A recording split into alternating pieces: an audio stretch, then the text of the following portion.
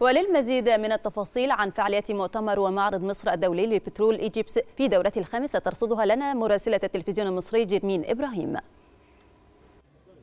نعم بعد التحية نتابع معكم فعاليات معرض ومؤتمر مصر الدولي للبترول والذي تم افتتاحه صباح اليوم بحضور الرئيس عبد الفتاح السيسي والذي شاهد فيلما تسجيليا عن إنجازات الدولة في قطاع البترول وأكد في عدد من التصريحات أن مصر كانت من الدول القليلة التي شهدت نموا إيجابيا في ظل جائحة كورونا وأكد أيضا أن الدولة قامت بصرف ما يقارب من 400 مليار دولار في تطوير البنية التحتية. أكد أيضا الرئيس في عدد من التصريحات صباح اليوم أن أفريقيا ما زالت تعاني بعض المشاكل في جذب الاستثمارات بسبب الصراعات وعدم الاستقرار. وأكد أيضا أنه هناك ما يقارب من 400 ألف مواطن يموتون يعني بسبب استخدام مصادر أولية للإشعال وأن أفريقيا تحتاج إلى مزيد من التعاون بين مختلف الأطراف في قطاع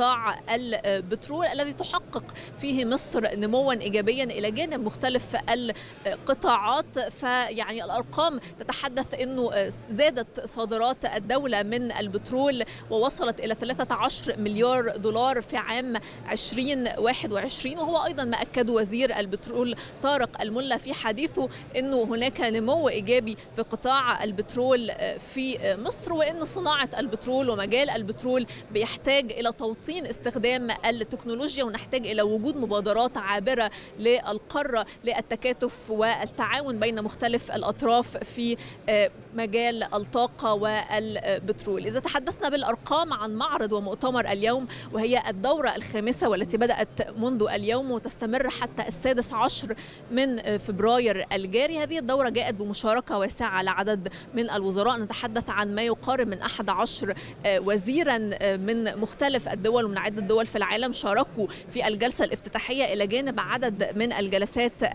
الحوارية. أيضا من المنتظر أن يجذب المعرض والمؤتمر هذا العام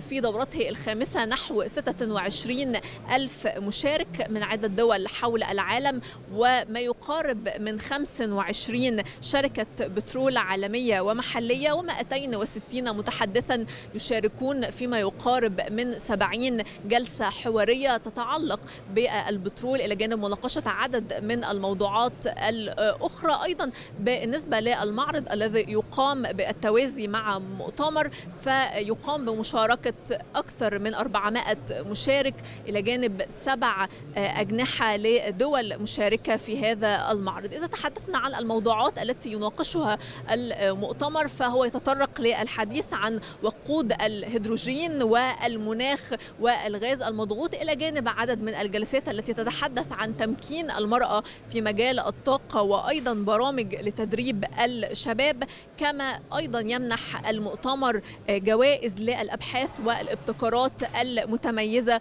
في قطاع البترول والغاز. تأتي أهمية يعني هذا المؤتمر أيضا مع اقتراب استضافة مصر لقم لقمة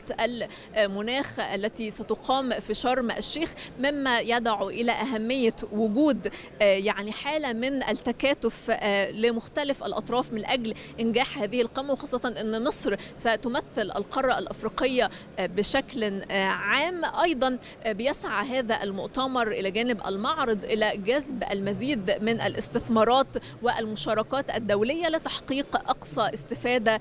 لمصر عن طريق التعريف بالإصلاحات التي تتم في هذا المجال. فهذا المؤتمر بيعد بوابة السوق المصرية والذي يعتبر أحد أكثر الأسواق الواعدة في قطاع الطاقة والبترول كما أنه يعد الحدث الأبرز في منطقة شمال أفريقيا والبحر المتوسط وذلك من خلال إتاحة الفرصة للقاءات المباشرة ب